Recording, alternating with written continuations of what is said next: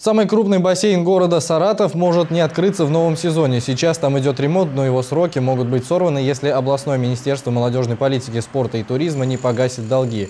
По словам руководства физкультурно-спортивного комплекса, уже полгода чиновники кормят их обещаниями погасить долг за аренду бассейна. Там занимаются саратовские спортсмены. Общая сумма долга по всем спорткомплексам ФСК – 3,5 миллиона рублей. На эти деньги рассчитывали отремонтировать и бассейн «Саратов». В планах реконструкция стен, сидений, а также 5 и 10-метровых вышек для синхронных прыжков в воду.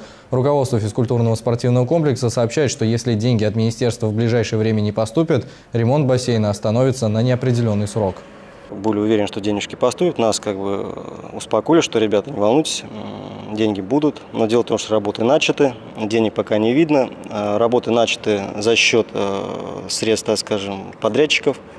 Закуплены материалы на средства подрядчиков. Но я думаю, что карманы у подрядчиков не резиновые. Когда-то у них денежки кончатся. Сейчас мы выясняем детали сложившейся ситуации. В ближайших выпусках программы смотрите подробности. В сюжете мы отразим и позицию областного министерства спорта.